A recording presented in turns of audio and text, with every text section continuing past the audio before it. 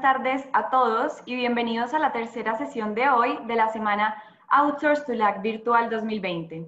Como saben, Outsource to LAC ofrece un espacio a las compañías de servicios digitales globales de América Latina y el Caribe para aprender de los expertos de la industria a nivel regional y global sobre las más recientes innovaciones del sector.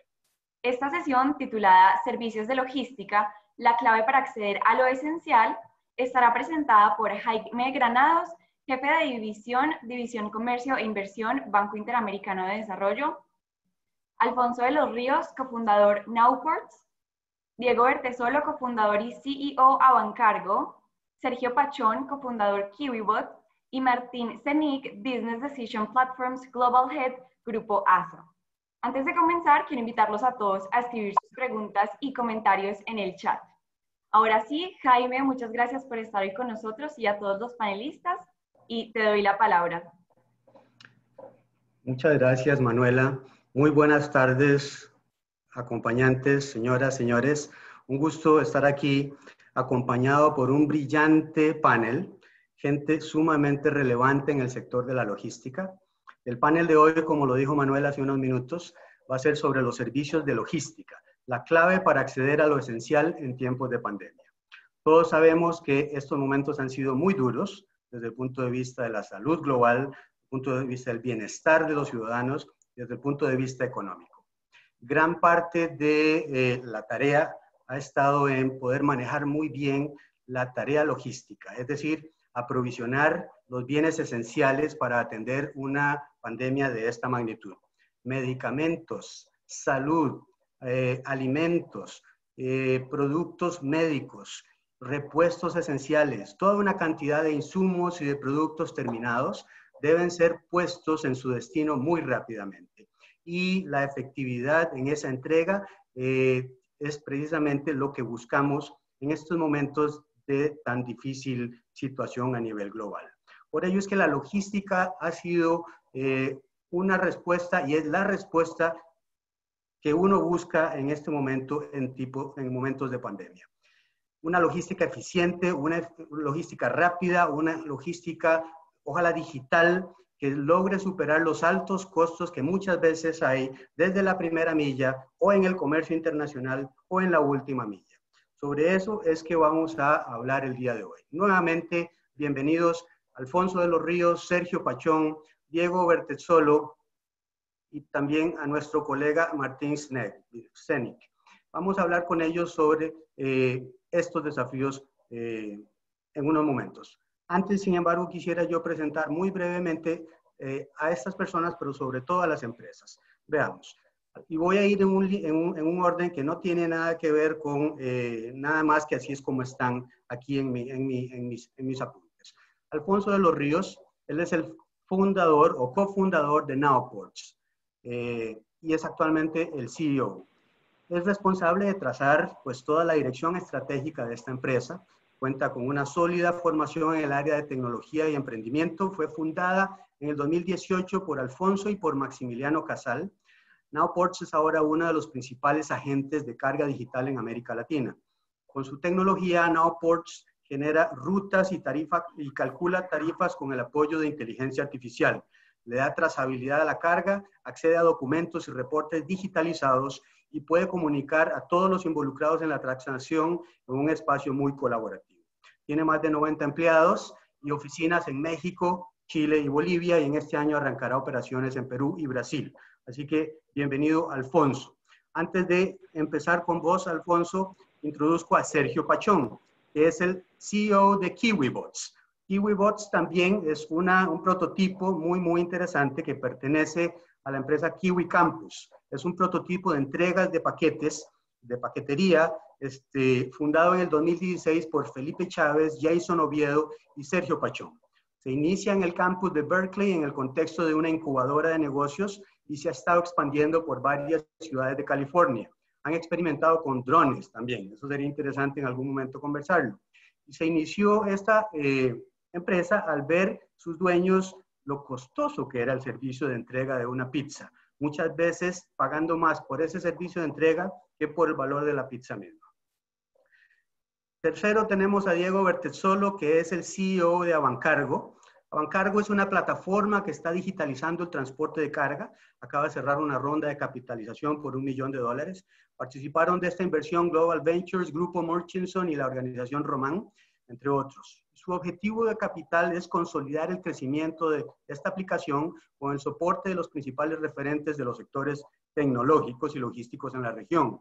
La plataforma busca terminar con esa simetría de información dentro del sector en una industria ampliamente acostumbrada al papel y al lápiz, donde no se capturan ni se digitalizan los datos. Opera esencialmente pues, en eh, América Latina, específicamente en Argentina.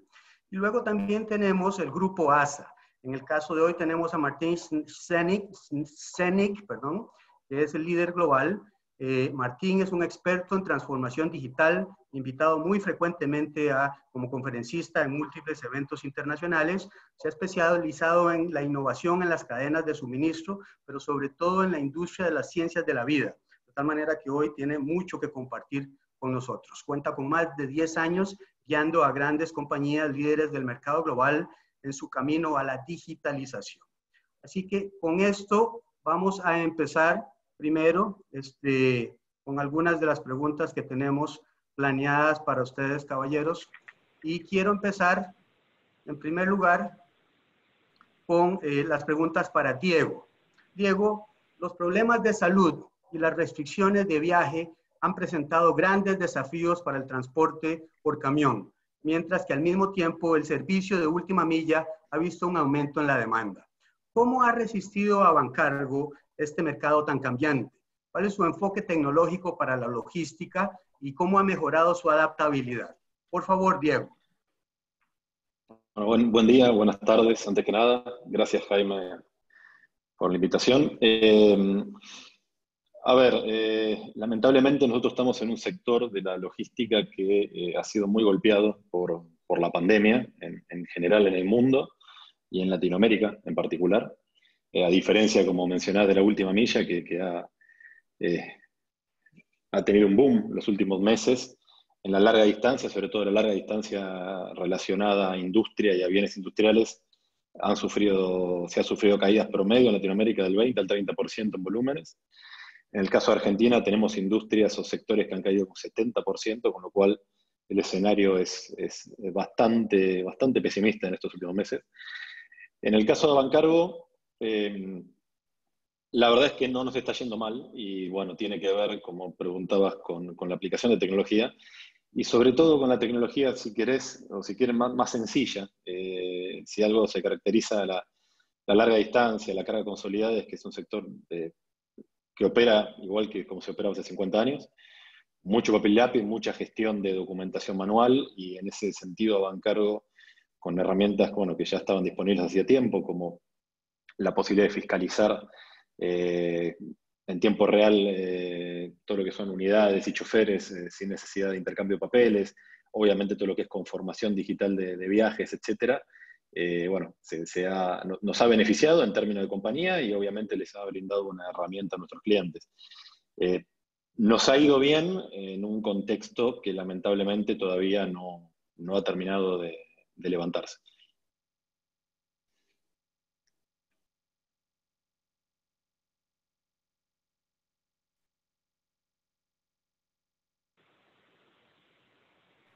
Jaime, creo que está en... Perdón, sí. Decía que efectivamente este proceso ha sido sumamente traumático para la vasta mayoría de las compañías en el hemisferio y en el mundo en general. Sin embargo, hay compañías que pueden aprovechar estas oportunidades y aquellas que tienen instrumentos digitalizados son aquellas que pueden definitivamente eh, aprovechar mucho mejor esta oportunidad y brindar un servicio social, ya más que un servicio económico, un servicio social sumamente importante en esta situación por la que transcurre el mundo. Así que nos alegra saber que ustedes han estado este, activos, operando, caminando y floreciendo en general en este proceso. Ahorita volvemos con Diego nuevamente. Martín, quisiera hacerte una pregunta que tiene que ver con el hecho de que este, la empresa GA faculta a las grandes empresas para transformar sus modelos de negocios a través del poder de los datos. cómo han cambiado las necesidades de las empresas en América Latina como resultado de la crisis. ¿Puede proporcionar ejemplos de cómo la tecnología o los datos han permitido a estas empresas adaptarse a esta nueva realidad que estamos haciendo referencia? Por favor, Martín. Gracias, Jaime, y buenas tardes a todos. Sí, durante eventos eh, disruptivos como el que estamos viviendo, cuando los desafíos de la producción y distribución chocan con el pánico por parte de los consumidores, el monitoreo en tiempo real de punta a punta de las actividades de la cadena de suministros es, imprescindible. Nos hacemos preguntas como ¿cuántos proveedores van a cerrar la semana que viene? ¿O cómo los voy a reemplazar? ¿O dónde va a ser el próximo pico de demanda? ¿La producción que tenemos va a alcanzar para satisfacer esa demanda? La visibilidad en todo el ecosistema de la cadena de valor es crucial eh, para responder a la demanda mundial y el uso de tecnologías emergentes, como las usamos nosotros, se convierte en un impulso clave para brindar mayor transparencia y visibilidad a las operaciones y a cada movimiento de esa cadena. Sin embargo, eh, dar visibilidad por sí solo no es suficiente.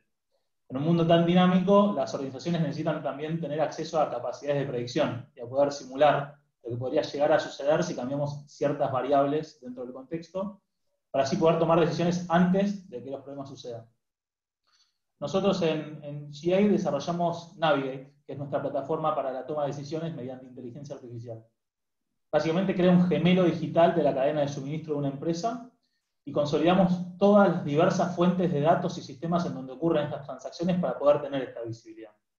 Navigate no solo proporciona esta transparencia, sino que realmente te muestra lo que está sucediendo en cada momento. Y también se, se anticipa futuras conductas. Un modelo bien diseñado puede ayudar a anticipar picos de oferta, de demanda y a recomendar los pasos críticos para garantizar la preparación de las empresas a estos mismos eh, pasos.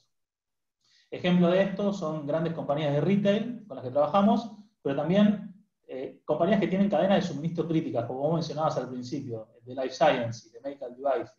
Nosotros con nuestras plataformas ayudamos a entender exactamente qué es lo que está pasando en cada momento y así poder tomar mejores decisiones, acelerando estos procesos y reduciendo los costos también. ¿Cómo ha sido, Martín, el proceso de recolección de datos? ¿De dónde obtienen ustedes la información? ¿Son datos transaccionales, datos que adquieren en, bases de datos que se, que se, compran en el mercado? ¿Ustedes los, los capturan de alguna manera? ¿Cómo ha sido ese proceso? Mira, eh, GA tiene 27 años trabajando con sistemas de gestión y con procesos, entonces tenemos muchísimo conocimiento de cómo se manejan estos datos y cómo recuperarlos. Uno de los grandes beneficios que tienen nuestras plataformas es que cuentan con la combinación de las nuevas tecnologías con todo el conocimiento previo en nuestras distintas industrias y con los distintos clientes. Entonces, nos es muy fácil entender cómo recuperar estos datos transaccionales de estos sistemas cómo combinarlos para poder formar estos gemelos digitales y esta transparencia de la que hablábamos antes. Claro, vemos aquí entonces una combinación virtuosa entre las capacidades novedosas que ustedes proporcionan al negocio con una tradición y una existencia ya bastante larga y extendida que implica que conocen bastante bien el negocio específico, ¿verdad? Una combinación ganadora. Veamos, Alfonso, por favor, te quisiera hacer una pregunta. La, distribución de equipos médicos a la escala necesaria para combatir la pandemia ha sido un desafío logístico global, como lo hemos mencionado desde el inicio.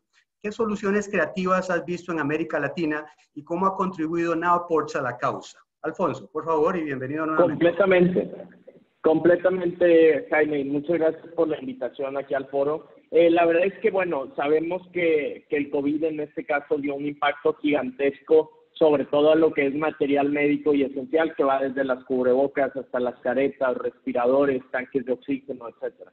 Cuando comienza la, la pandemia, lo primero que decidió Nauports es eh, recortar 100% sus márgenes en estos movimientos y darle prioridad a esta, a esta carga. Entonces, nosotros al tener seis oficinas en Latinoamérica, decidimos que íbamos a darle prioridad a todo lo que es material eh, esencial o clínico. Y esto abre un poco nuestro panorama del ecosistema latinoamericano, ¿no? Eh, principalmente las cosas que vimos es que eh, pequeños y, medianas empresas que comúnmente importaban cubrebocas ya sea para los hospitales, para las carnicerías e incluso para actividades rutinarias de construcción, se vieron disparados con más de 3 o 4X o 400% de incremento en sus importaciones, principalmente desde Asia.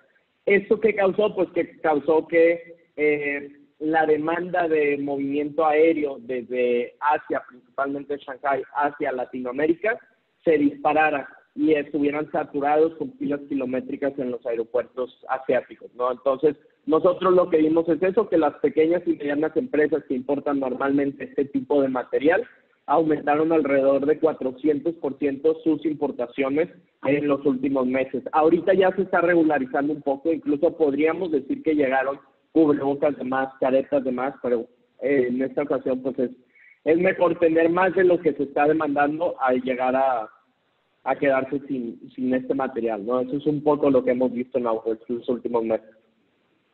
Y Alfonso, ¿tuvieron ustedes que lidiar con situaciones en, puntos de transbordo en donde las autoridades de alguna manera capturaban esa carga en lugar de permitirle que fluyera? ¿Y cómo manejaron eso? Sí, sí, completamente, completamente, Jaime. De hecho, una de las principales cosas con las que nos enfrentamos es que así como había muchas pequeñas y medianas empresas importando más carga eh, de productos esenciales, había nuevas empresas que nunca habían importado eso y de repente quisieron importar miles o millones de cubrebocas. ¿Qué es lo que sucedió? Que eh, las aduanas en Latinoamérica, incluso en Estados Unidos, decidieron poner un freno a esas empresas. ¿Por qué? Para, que, para evitar un desequilibrio de mercado, para evitar que esto vaya a causar que se vendieran a un costo más alto, que, que los proveedores empezaran a pelear por los clientes aquí en Latinoamérica, etcétera. Entonces nosotros lo que hicimos, Jaime, es una vez que alguien quería mover cubrebocas, que quería mover este, algún punto en específico, decidimos hacer un background check de que ya lo habían hecho antes, de que no era la primera vez, de que contaban con todos los permisos quirúrgicos para hacerlo. Y ese fue el procedimiento antes de que nosotros recogiéramos la carga incluso en China o en cualquier lado del mundo, ¿no? Ok, bueno, muchas gracias Alfonso. Ahorita volvemos con otra, otras preguntas. Quiero hablar con Sergio, por favor, Sergio. Nadie definitivamente hubiera podido predecir el aumento repentino de la demanda de entrega con robots. ¿Qué desafíos has enfrentado en la ampliación de la escala? ¿Cómo has adoptado su oferta para enfrentar los desafíos de salud y logística del momento? Contanos, por favor, tu experiencia. Hola, Jaime. Eh, primero, muchas gracias por la invitación. Eh, la, ¿Qué ha pasado con la coyuntura? Que nos estamos enfrentando como a una nueva normalidad. Eh, en términos de, los robots, eh, digamos que nosotros siempre hemos tenido en el futuro y, sabemos que, eventualmente la solución para la logística de última milla en términos de costos y lograr que los costos sean muy bajos van a ser los robots. ¿Qué había pasado anteriormente? Que eh, se había visto muy difícil cómo presentar nuestra solución. Si nosotros hablábamos con los gobiernos, ellos lo veían muy lejano. Yo creo que había muchos temas de, de, una barrera de entrada por el tema de los andenes. Los andenes siempre han sido como sagrados y nosotros siempre lo hemos visto así. Y si tú ves nuestro, nuestra solución o nuestro robot, es un robot que es pequeño, que es muy amigable y que siempre se encarga como de, entrar en una sintonía muy buena con la comunidad. Entonces, eh, ¿qué vemos ahorita? Pues, ¿A qué te referís con los andenes? ¿Podrías explicarnos, por favor? Sí, digamos que con el tema de las scooters o con el tema de las bicicletas, la gente siempre ha estado como muy muy en contra de compartir el andén con otras cosas. Entonces, eh, desde el principio nosotros sabíamos esto, por lo, por lo mismo eh, ofrecimos un robot que no fuera muy grande, porque nuestra competencia, digamos, es un robot muy grande que de, entrada pues era, era difícil como la, convivencia día a día con las personas. Entonces nosotros diseñamos un robot que además de que fuera pequeño, fuera bonito, para que las personas eh, no tuvieran ese problema de, entrar a, pelear con el robot y lo vieran como una, como una amenaza a, digamos, a la movilidad. ¿Qué ha pasado por, por, el tema de la coyuntura? Que los gobiernos están mucho más eh, amigables a hablar con nosotros, a presentar esta solución, porque básicamente estamos ofreciendo, en primera medida, ofrecer un servicio muy, muy económico, como tú mismo lo decías en la presentación. El problema en los países desarrollados es que los domicilios son muy costosos y es algo que es muy diferente aquí en Latinoamérica. En Estados Unidos, que es un país que, está, que es desarrollado, que tiene como el e-commerce más fuerte del mundo, no puede ofrecer un servicio de, de on demand a muy bajo costo. Recibir paquetes a, en menos de una hora eh, se representa como una, algo muy, muy difícil para las empresas. Entonces, ¿qué está pasando ahorita? Las empresas y los consumidores nos estamos digitalizando mucho más rápido, como que esta coyuntura nos obligó a, a, las empresas a, ofrecer canales de, de, para ofrecer sus servicios online, para ofrecer sus servicios eh, en corto tiempo. Y nosotros como usuarios también nos vimos en la necesidad de, de empezar a usar muchas más aplicaciones. ¿Qué pasa en Estados Unidos, en Australia, bueno, en los países donde, donde nosotros estamos mirando la posibilidad? Que el domicilio es muy costoso. Entonces tú, tú no puedes ofrecer un domicilio de un dólar, dos dólares, porque eh, básicamente una persona que trabaja como domiciliario tiene que hacerse alrededor de 20 dólares la hora y, tiene, y puede hacer alrededor de dos domicilios o 1.5 domicilios en la hora. Entonces estos sobrecostos los tiene que asumir o el consumidor o los tiene que asumir el restaurante. Entonces eh, lo que nosotros queremos llegar y lo que hemos eh, tratado de ofrecer o lo que estamos ofreciendo es un producto que permita democratizar el servicio a domicilio que todas las personas, independientemente del, del, del, poder adquisitivo, puedan acceder a los domicilios y es algo que, que digamos, no, no, no, no, ha ocurrido porque lo mismo que te decía, por los, por los grandes costos. ¿Qué se nos presenta ahorita? Pues tenemos, eh, yo creo que nuestro mayor inconveniente ahorita es que no tenemos la, los robots suficientes para la oferta que se está presentando. Entonces ahorita en estos momentos estamos hablando con alrededor de 25 empresas en todo el mundo que quieren adquirir los robots y eso, eso nos representa a nosotros una, eh, hacer los robots y entonces no es lo mismo hacer 100 robots que hacer 1000 robots 10.000 robots. Entonces, eso es el problema ahorita de escalamiento, poder hacer el deployment de los robots en varios lugares al mismo tiempo y, y, todo lo que eso conlleva. Entonces, siempre que nosotros llegamos a una ciudad, siempre hablamos con la alcaldía porque sabemos que tenemos que trabajar directamente con ellos para, para poder ofrecer nuestro producto de manera exitosa. Como te decía, que los robots no se conviertan en un problema para, para la ciudad, sino se conviertan en, en una ayuda y, ofrecer un servicio que sea bueno para la comunidad. Y, Sergio, ¿en cuál ciudad crees vos que han tenido una muy buena, muy buena experiencia a la hora de hacer el despliegue de los robots como servicio de logística? ¿Y por qué? Nosotros hemos hecho deployment de nuestros robots en, en Berkeley principalmente, en Denver también lo hicimos, en Los Ángeles y ahorita lo, lo estamos haciendo en Taipei. Eh, yo creo que em, en Berkeley fue un experimento muy interesante porque Berkeley, así sea una ciudad en Estados Unidos, eh, es una ciudad que tiene muchos movimientos anti-tecnología. Hay mucho, llamaríamos hippies que están en contra de, este tipo de soluciones. Eh, de hecho, en Berkeley no estaba, no estaba como, eh, no se podía poner las scooters a funcionar, que en varias ciudades de Estados Unidos sí se podía, pero en Berkeley no era posible y nosotros obtuvimos el permiso de nuestros robots ¿Qué nos dimos cuenta y qué te, qué, te, está diciendo? Desde el principio nosotros trabajamos muy de la mano de la comunidad preguntándoles eh, cómo, cómo veían al robot, qué, qué, qué, qué, dificultades tenía el robot, qué cosas veían negativas.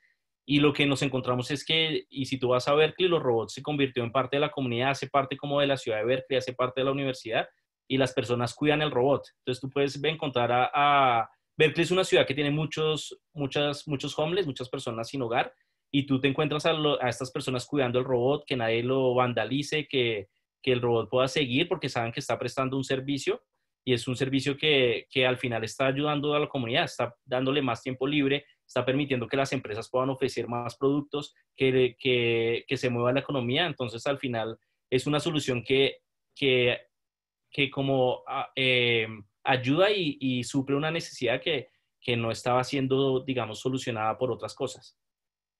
Perfecto. Ok, muchas gracias, Sergio. Pronto volveremos nuevamente con vos. Quisiera volver a Diego unos minutos, Diego, para preguntarte cómo ha mejorado la digitalización, el servicio en el sector logístico de América Latina. ¿Esperan que la crisis actual acelere esta tendencia? ¿Está aquí para quedarse? ¿Vino a acelerar y a precipitar un cambio que ya era urgente? ¿O creen que es algo temporal?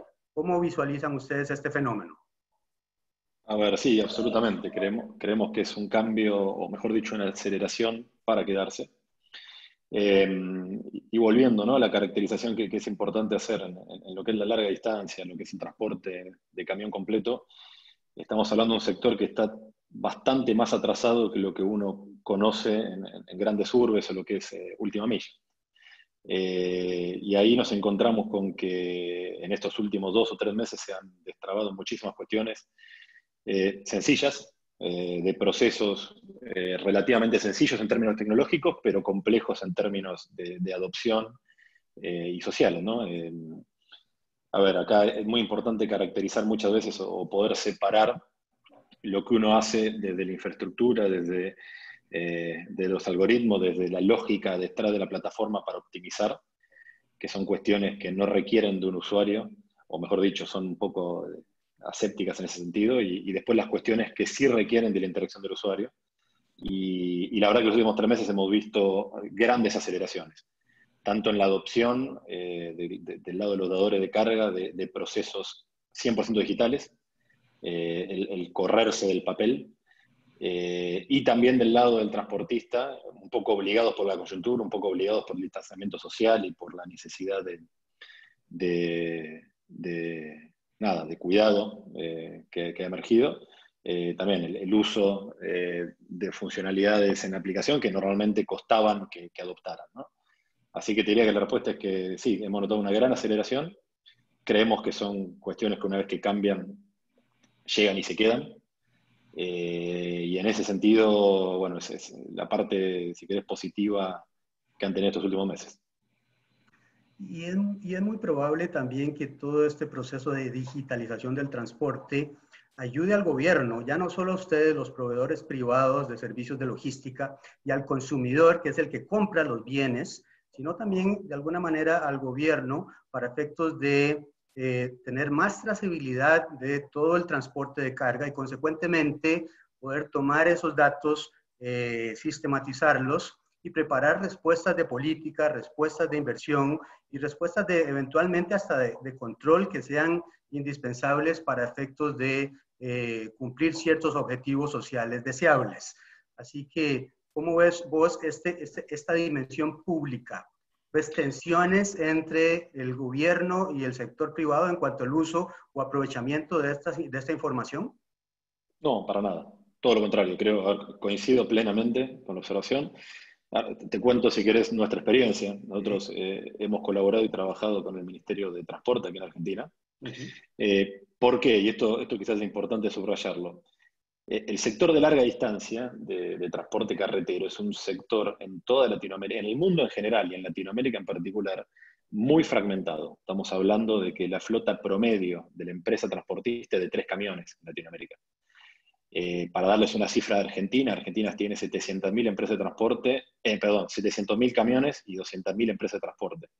Estamos hablando de un segmento predominantemente pyme, cuenta propista, que es imposible eh, coordinar, pero que a su vez funciona como un todo. Entonces, eh, plataformas como Bancargo, en este caso, no solo nuestro objetivo obviamente tiene que ver con, mejorar la, coordinación y, cómo opera todo el sector a partir de la información y la gestión de la información, pero esa información, como bien mencionado, no solo tiene que ver con una cuestión comercial eh, o de encuentro de oferta y demanda, pero también de optimización, de aplicación de políticas públicas, de mejora de condiciones para, los eh, jugadores involucrados. Eh, hay mucho que se puede hacer y yo creo que en ese punto, tanto aquí en Argentina como en el resto de Latinoamérica, estamos recién empezando, recién empezando a recorrer el camino. Perfecto, Diego. Ok, ahorita podríamos volver con otras preguntas. Quisiera pasar eh, a conversar eh, con Martín nuevamente. Martín, contanos un poco sobre los laboratorios GA, para, sobre todo el, laboratorio para la inteligencia de decisión ahí, el, el, el. ¿Qué puede ganar América Latina con la inteligencia artificial y la toma de decisión basada en, datos, en evidencia? ¿Y cuáles son esos desafíos que enfrenta hoy en este esfuerzo? Y mirando un poco hacia, hacia adelante, ¿qué visión tienen para la, para la inteligencia artificial aplicada aquí en la región de América Latina y el Caribe? Por favor, Martín. Sí, Jaime, bueno, este laboratorio de inteligencia artificial fue creado en GA para desarrollar plataformas de toma de decisiones inteligentes basados en datos, como la que te mencionaba antes. En GA aprovechamos muchísimo y muy fuerte el relacionamiento que tenemos con nuestro ecosistema, que cuenta desde partners tecnológicos, como mencionamos antes también, pero también del mundo académico, del mundo de los negocios, del ecosistema emprendedor. Y el objetivo que tiene este laboratorio es resolver los desafíos que tienen diversas industrias que detectamos a partir de los insights de nuestros clientes. Nosotros vamos detectando qué problemas tienen y creamos soluciones en base a esos problemas. Eh, de esta manera podemos lograr que nuestros clientes aceleren la adopción de estas tecnologías disruptivas y siempre consideramos que tengan las competencias de data science en muy poco tiempo y adaptables a sus necesidades puntuales. ¿Y cómo lo hacemos? Bueno, es trabajando junto a nuestros clientes, como decíamos antes, entendiendo sus problemas de negocio, y después nos damos vuelta y trabajamos con nuestros, eh, nuestros equipos de ciencia de datos. Siempre soportados o pudiéndonos soportar en nuestros equipos externos de la academia, como por ejemplo organismos del Estado como el CONICET, aquí en Argentina, y tecnologías disruptivas, incluyendo nuestras oficinas de scouting de innovación en Israel. Y respecto a América Latina, nosotros creemos que eh, todavía se puede sacar mucho valor de los datos y todavía nos queda mucho camino por andar también. Estamos en la era donde la información y los datos crudos, así como vienen, no tienen valor. Y este es uno de los mayores desafíos que tenemos como región. Nuestra propuesta desde el Laboratorio de Inteligencia Artificial y desde GA, bueno, son varias. Primero es ayudar a las empresas a poder conseguir estos datos, a mejorar la calidad de estos mismos datos y a poder usarlos. Segundo es integrar estos datos internos, de los que hablamos en, el comentario anterior, con fuentes externas, ya sean de clima, de geografías, de censos. Luego es entender exactamente qué factores o qué variables son relevantes para cada una de las empresas con las que trabajamos y por último, con, todo esto, poder implementar estas acciones para poder hacer correcciones necesarias y después lograr beneficios o reducir costos en base a ello. Muy, muy interesante, Martín. Una pregunta por curiosidad. Cuando ustedes eh, buscan científicos de datos, ¿ustedes los encuentran en América Latina con la capacitación que ustedes necesitan? Es decir, ves que hay suficiente oferta o habrá que mejorarla o habrá que crearla, de tal manera que todos estos servicios de científicos de datos se puedan ser suplidos desde nuestras propias latitudes, donde sabemos que existe la capacidad, pero muchas veces hacen falta las instituciones para potenciarla, para llevarla a donde está la necesidad. ¿Cómo ves ese tema, Martín? Totalmente, Javi, estoy totalmente de acuerdo. Yo creo que en América Latina hay muchísimo potencial y hay gente que conoce muy bien lo que es ciencia de datos. Creo que desde GA también lo que hacemos es aportar a que haya más, más gente capacitada para hacerlo. Eso es parte del laboratorio también. Si nosotros exportamos, digamos, servicios de Latinoamérica hacia el mundo, entonces creemos que Latinoamérica es un hunting ground específicamente también para talentos. Por eso creo que hay muchísimo talento y hay que seguir expandiéndolo y que más gente pueda participar de eso. Perfecto, Martín. Ahora quisiera pasar a Alfonso. Alfonso, también este, nos interesa mucho tu, visión sobre este tema del papel de las nuevas tecnologías como la automatización, la inteligencia artificial, de la cual hemos estado hablando, para la gestión de estos choques de suministro y las incertidumbres durante la crisis como esta pandemia, que pareciera ser que van a ser más frecuentes. Hoy tenemos esto, mañana puede haber coletazos del cambio climático o, o una agudización de la crisis económica, en fin, este, pareciera ser que hay un ambiente de inestabilidad que se puede llegar a generalizar. ¿Cómo, ayudarían estas nuevas tecnologías para poder resolver los problemas sociales que cada vez vamos a ver con más frecuencia? Completamente, completamente. Yo creo que se ve a través de varios factores o espectros que, que pudieran decirnos cómo es el panorama. Y, y, a lo que voy es con esto, ¿no? Hace, bueno, la industria logística viene siendo la misma por 70 años, ¿no? Hoy es casi imposible imaginarnos cómo hubiéramos podido manejar esta pandemia desde nuestras casas sin las herramientas tecnológicas como pues lo es los forwarders digitales o a lo mejor procesamiento de documentos digitales, etcétera. Entonces nosotros lo que vemos desde enero, que es cuando nosotros empezamos a ver el impacto del COVID a través de nuestros proveedores en Asia, es que lo que se necesita ya no es únicamente inteligencia artificial, sino se necesita el acceso a datos en tiempo real para meterlo a modelos que se adapten a esto, pues a esta información de cambios bruscos en las cadenas de suministro y en el sector global, ¿no? ¿Por qué? Porque quizá, Jaime, hay un modelo definido eh, de inteligencia artificial que funcionaba muy bien en una etapa normal, en una etapa tradicional para el forwarding o para la cadena de suministro, pero de repente tienes una baja en la oferta de 80% en los aviones, una demanda de 800% para mover carga aérea, y eso un, un algoritmo o un sistema ya antiguo, y antiguo me refiero de hace dos o tres meses, es eh, no útil, ¿no? Por así decirlo. Entonces, nosotros vemos esto, nos, nos enfocamos en el acceso a datos en tiempo real, conectándonos a las aerolíneas, pero también a las órdenes de compra de todos nuestros clientes en el continente para saber cuando estaban emitiendo una orden de compra, nosotros empezar a medir volúmenes a través de pues distintos sectores, ¿no? Entonces eso fue lo primero. Lo segundo muy importante es eh, la automatización de documentos. Actualmente estamos automatizando más de 15 documentos y estoy seguro, Jaime, que no somos los únicos que nos dimos cuenta que el manejo de documentos era súper importante. El imprimirlos ya no era una opción. Eh, ahora que estábamos desde las casas, entonces hicimos un módulo de documentos, de e-signing, para que todos pudiéramos estar en el mismo canal, hablando de los mismos embarques en una sola plataforma. Entonces, resumiría todo mi punto con que se ha vuelto clave o primordial, por así decirlo, el tener acceso real a datos de las aduanas, de las aerolíneas, de las tarifas, de las cotizaciones y también de algo muy importante de tiempos de tránsito y tiempos de llegada, ¿no? ¿Cuándo iba a llegar tu buque? Eso normalmente no se está respetando por el cambio a nivel global, ¿no? Eh, y pues el manejo de documentos desde casa, porque ya de un día para otro los socios de logística ya no estaban a un lado y tenían, oye, ¿dónde dejaste este documento? ¿Dónde dejaste esta factura? Y estamos tratando de atacar esos problemas que causan demoras e impactos económicos en la cadena de, suministro, por así decirlo, de nuestros clientes. Exacto, Alfonso. les comento a ustedes y a quienes nos escuchan que desde el Banco Interamericano de Desarrollo estamos también haciendo un esfuerzo muy, muy importante para reducir costos logísticos a los operadores de comercio en toda América Latina en algunos, y en el Caribe. En algunos países estamos más profundamente que en otros.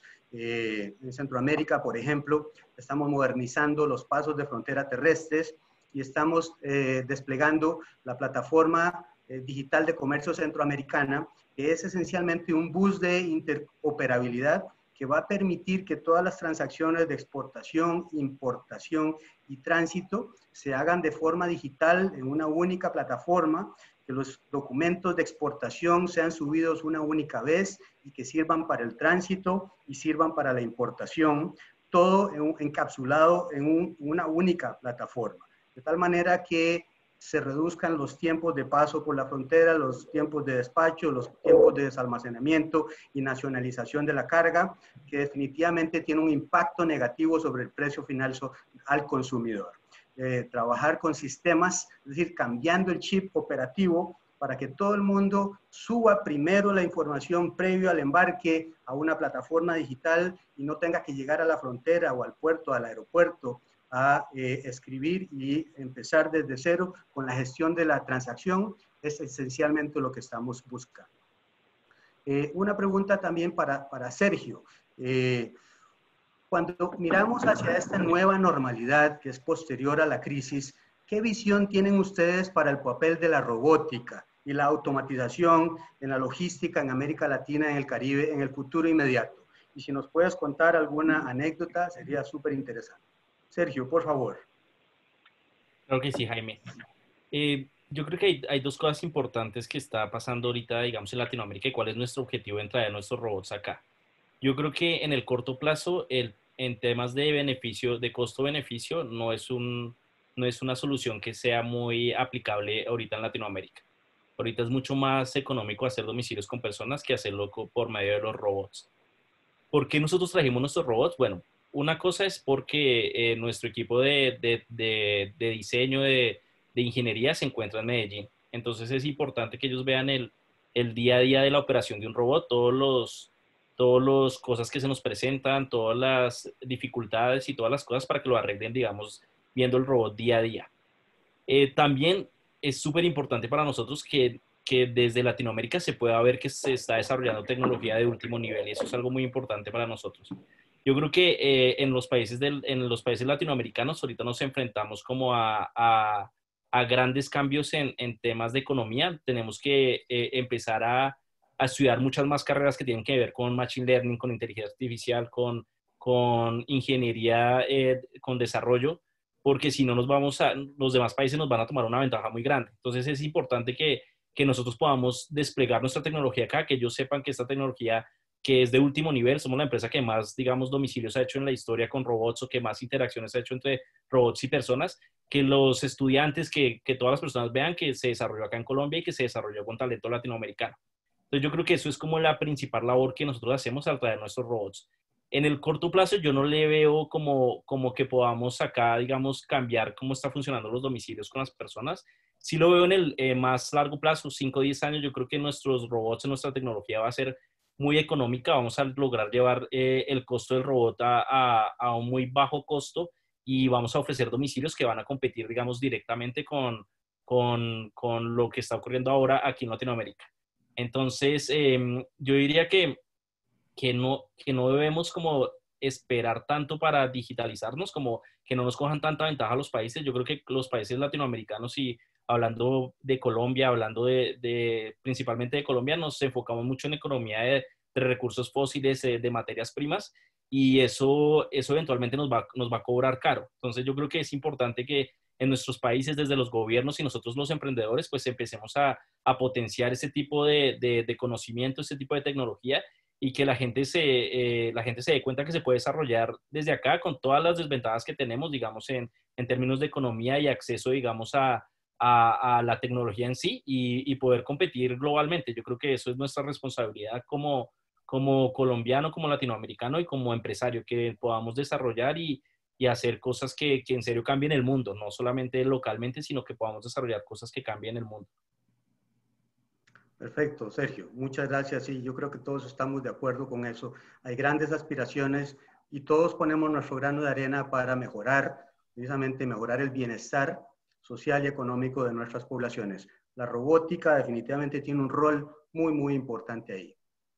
Hay una serie aquí importante de preguntas, muy específicas algunas, e incluso dirigidas a algunos de ustedes de forma específica, y quiero, quiero leérselas para que el, público vea eh, y se sienta también reflejado en la discusión.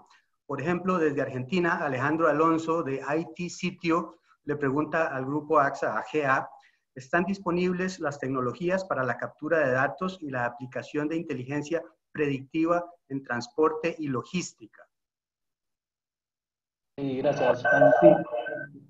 Definitivamente es una de las áreas donde nosotros más nos enfocamos. Como decíamos al principio, nosotros trabajamos mucho con cadena de suministro de insumos críticos para la medicina o dispositivos médicos y nosotros desarrollamos distintos conectores y extractores de data de un montón de sistemas de gestión o de RPs, que son los más comunes, pero también customizados para cada área. Y luego construimos algoritmos para poder hacer estas cosas que pregunta Alejandro, ¿no? Empezar a predecir qué es lo que va a suceder con la logística, con el transporte, etc. Por supuesto, los algoritmos no son 100% reutilizables para todas las compañías, pero sí tenemos ciertas bases de las cuales podemos empezar y después acomodar o customizar a cada cliente. Entonces, vuelvo al primer punto, Jaime, que hablamos antes. Nosotros tenemos muchísima experiencia trabajando con grandes empresas y con muchos de los sistemas más conocidos, o los RPs o los sistemas de gestión. Entonces, combinamos todo esto para poder construir estos algoritmos predictivos y estos extractores o conectores de datos para poder agilizar este tipo de implementaciones de data science y poder hacerlo muy, muy rápido, customizado para cada cliente. Gracias, Martín. Eh, vamos a ver qué más. Hay, algún, hay preguntas, hay varias preguntas, pero quisiera yo también formular un poco algunas. La experiencia en materia de drones, ¿qué tan listos estamos para ello? Ya, discutimos con Sergio Robots, ya discutimos este, ciencia de datos e inteligencia artificial para mucha de la logística tradicional, pero ¿cómo estamos, cómo nos sentimos para brindar servicios de entrega vía, vía drones? Hacen falta eh, poco de, logística, eh, o de inversiones en, logística e infraestructura pública, o más bien es un tema regulatorio, o es un tema de aceptación del público y de seguridad. ¿Cómo, cómo lo hemos estado viendo? ¿Quién quiere hacer una primera aproximación a este tema? Jaime, yo creo que en los drones nosotros los hemos mirado pues desde, desde el principio también era una opción. Yo creo que el mayor problema que tienen los drones es, yo creo que en términos de seguridad, yo creo que eh, el robot, pues como, como, como está desarrollado, no puede andar muy, muy rápido, no puede andar más rápido que una persona, entonces nosotros digamos que temas de accidente, pues el mayor accidente es que te pegue un robot en la pierna y pues no es muy grave. Digamos que nos ha pasado, no hemos tenido un accidente grave. Yo creo que si un dron falla y cae encima de una persona, pues puede ser muy, muy grave puede ser hasta letal. Yo creo que ese es el mayor problema que veo en los drones. También la batería, digamos que no, no está, todavía hay muchos temas de, en problemas en términos de batería, que, que el dron pueda cargar cosas muy pesadas, esa es otra cosa. Y yo creo que lo último es en términos de regulación, de términos de vigilancia. Yo creo que la gente no se sentiría cómoda que un dron esté, esté grabando o esté tomando imágenes, eh, yo creo que ese tema también es bien complicado.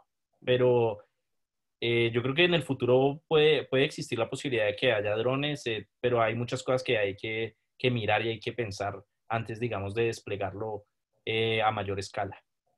Claro. Ok, y ahora Sergio, ya que te tengo aquí en la línea, ¿los robots que ustedes están produciendo son de código abierto? Si no, ¿han considerado abrir esos códigos? ¿Cuáles son los pros y los contras de abrir o no esos códigos, sobre todo para el despliegue de robots en América Latina? Eh, sí lo hemos pensado. Yo creo que es importante como abrir, abrir la tecnología y, y, que cualquier persona, digamos, pueda desarrollar a partir de lo que nosotros hemos hecho. Yo creo que siempre nosotros hemos estado abiertos a, trabajar de esa manera.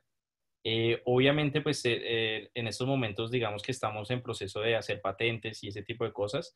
Y yo creo que todavía esto es un, esto todavía no se está desarrollando a gran escala, todavía hay mucho por hacer. Entonces, pues toca, toca seguir trabajando porque hay muchas empresas que yo creo que se van a montar en la idea de, a partir de lo que está pasando y de la digitalización acelerada, y yo creo que eh, tenemos que aprovechar la experiencia que llevamos, los tres años que le llevamos de ventaja a otras empresas que pueden tener mucho más, mucho más, digamos, dinero, mucho más recursos para, para atacar el problema.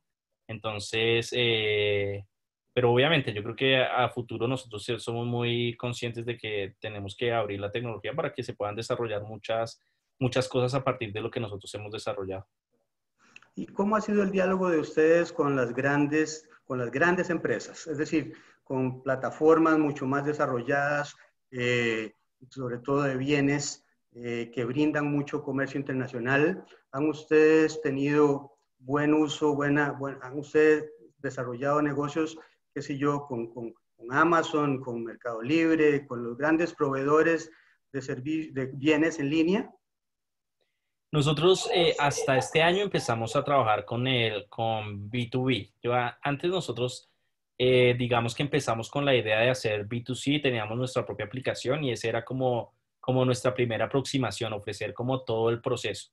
Eh, que nos dimos cuenta a, finales del pasado, era muy difícil, mucho capital, hacer el proceso desde adquirir usuario, mantenerlo, customer service y pues todo lo que representa tener una, una aplicación de e-commerce propia. Entonces, eh, nosotros en el pasado habíamos hecho ya pilotos con DoorDash y lo que hicimos fue como cambiar totalmente el modelo y empezar a buscar eh, eh, aliarnos con empresas mucho más grandes que ya tengan la demanda y nosotros ofrecer el, el robot y, toda la, y todo el servicio logístico que viene alrededor del robot. Entonces, ahorita, como te decía, estamos hablando alrededor con 25 empresas, entre ellas está Domino's, está Uber Eats, está Rappi, está Sodexo y, buscamos, pues, eh, eh, vamos a empezar pilotos. Yo creo que eh, teníamos, ahorita, este segundo semestre, vamos a empezar pilotos en forma. Antes se, se, aplazaron un poco por la pandemia, teníamos también conversaciones con Facebook para ofrecer los robots en el campus. Yo creo que ahorita se viene un trabajo muy fuerte porque es demostrar, digamos, que, que el modelo funciona, que podemos aliarnos y que es exitoso hacer esta alianza con estas empresas. Pero, pero yo lo veo muy, muy probable. Nosotros ya hemos hecho más de 100.000 entregas, yo creo que ya hemos probado que el robot funciona. Y ahorita va a ser muy chévere trabajar directamente con las empresas que implica otros nuevos retos, que es eh, la parte de, de, de, la tecnología, como ajustarnos a la tecnología de ellos, a las plataformas de ellos, pero, pero yo creo que con Rappi ha funcionado, que es la empresa que estamos ahorita, y ahorita vamos a empezar con Sodexo en campus en Estados Unidos, entonces, eh, estamos muy felices y estamos muy como ilusionados de, que, de, desplegar los robots en varios lugares, eh, escalar nuestra operación, que eso también es una cosa que tenemos que hacer. Ya lo hemos hecho en uno, dos o tres lugares, pero tenemos que hacerlo a 10 lugares, 20 lugares y eso representa muchos retos en temas de producción de los robots, en temas de logística, en temas de, del funcionamiento del robot como tal, en tema de mantenimiento. Entonces se vienen retos muy, muy bonitos en nuestro futuro cercano. Perfecto, Sergio, muchas gracias. Quisiera que hablemos ahora un poquito sobre el tema de las alianzas público-privadas, las APPs, y cómo o qué espacio podrían tener en América Latina para trabajar con, con, ustedes, con actores como ustedes. No sé, Diego, Martín o Alfonso, ¿alguno quisiera tomar esta pregunta, el rol de las APPs en su sector y qué desafío implica en América Latina?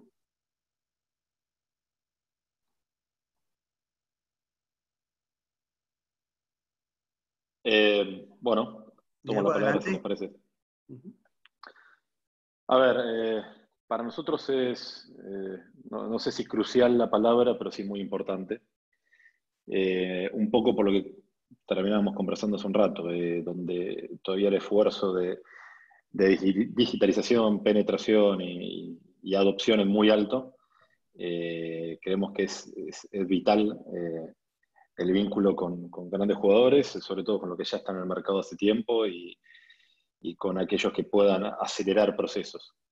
Eh, en el caso de Bancaro, parte de la estrategia del día uno ha sido esa, eh, incluso a nivel, eh, a nivel inversores, ¿no? Siempre se ha buscado vincularse con aquellos jugadores que no solo podían ser potenciales usuarios, pero sino también aceleradores en el proceso de cambio. Perfecto, Si puedo, adelante, por favor, sí. Yo creo que hay, dos áreas. Uno, como mencionábamos antes, eh, en el laboratorio de inteligencia artificial, nosotros trabajamos muy en conjunto con organismos públicos también, eh, como decía antes el CONICET y otros organismos, para poder eh, agregar valor a lo que hacemos. Eso por un lado. Y por otro, incluso en momentos como este de pandemia, donde creemos que nuestras tecnologías pueden ayudar muchísimo al gobierno y a distintos organismos nacionales para agilizar la manera de tratar la pandemia, para entender qué procesos o qué, eh, hablando de supply chain, digo, cómo podemos mejorar las entregas de los insumos a los hospitales, nosotros nos acercamos a ellos para también ofrecer toda esta tecnología y poder obtener buenos beneficios, buenos resultados desde el punto de vista público también. Así que es de los dos lados, ¿no? Ganar el punto de conocimiento, pero también entregar y aprovechar este ecosistema que tenemos para poder compartir la tecnología también con el ámbito público. Muchas gracias, Martín. Y quisiera hacerle una pregunta a Alfonso. Alfonso, hemos notado que el comercio electrónico en general está, ya ha venido creciendo exponencialmente en los últimos años, ahora con ocasión de la pandemia, mucho más. Sin embargo, en América Latina el comercio sigue siendo, comercio electrónico sigue siendo interno, no es transfronterizo, no es internacional. Por lo menos los datos que tenemos todavía nos dan evidencia de que en proporción a las transacciones normales, las transacciones internacionales en América Latina eh, basadas en plataformas electrónicas son todavía muy pequeñas. Desde el punto de vista de ustedes, desde el punto de vista de ustedes, ¿qué es lo que están visualizando? ¿Por qué se debe esto? ¿Y qué pueden hacer, sobre todo los estados, para hacer más uso del comercio electrónico a nivel transfronterizo? Completamente, completamente. Eh, es una muy buena pregunta. Verdaderamente el comercio al por mayor como tal, este, es un poco difícil el hacerlo internacional. La principal razón de eso es porque las aduanas o las reglas de importación y exportación llegan a ser algo complejas cuando se trata de un producto minorista. ¿Dónde están Outports o dónde entramos nosotros? Estamos tratando de, de guiar por así decirlo, de guiar a las empresas este, a que, o, al consumidor que esté comprando algún tipo de producto, a que sepa cómo se puede eh, importar a cierto país, cómo se puede, se puede, este, eh, cuáles son las reglas que ese país conlleva y sobre todo los aranceles, porque también tiene un costo grande cuando se está moviendo un minorista en los impuestos que, que esto detendrá, ¿no? Por así decirlo. Ok, gracias Alfonso. Una última pregunta porque ya ahorita tenemos que cerrar este panel para ver quién la toma. Tiene que ver con la privacidad de los datos. En la medida en que ustedes trabajen con datos, el tema de la privacidad saldrá siempre a colación.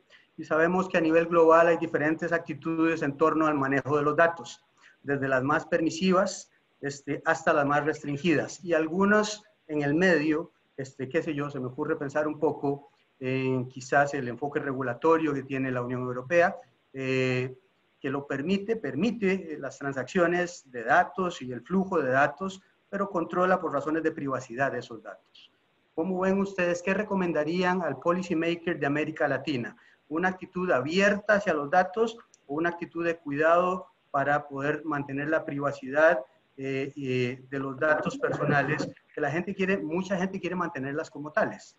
¿Cómo, cómo ven ustedes esta, este problema? Cualquiera de los cuatro puede, puede responder. Claro. Yo, si, quieren, empiezo, empiezo con, con la respuesta. Creo a Nowports como tal, a nosotros nos toca ver más el lado de enterprise o de las empresas que están importando o moviendo carga, no directamente al consumidor. Y los datos abiertos son clave para nosotros, pero se tiene que encontrar el balance entre que la información es clave o que la información es abierta, pero no es abierto quién es el dueño de eso. ¿Por qué? Porque eso los pudiera poner en una situación, por así decirlo, apretada de eh, volúmenes, de direcciones, de quién es el tomador de decisiones, cuánto vale la mercancía que están importando. Entonces, en Outports, eh, lo que hacemos desde que empezamos es que decidimos encriptar nuestra información de punto A a la Z, o sea, es decir, todo, y al mismo tiempo poder ofrecer esta información a través de APIs o de datos abiertos a cualquier proveedor de nuestras empresas con tal de que se pongan límites muy establecidos de qué información es la que se está compartiendo o no, que nosotros le llamamos switches en este caso. Perfecto. ¿Algún otro eh, colega quisiera agregar algo sobre estos temas?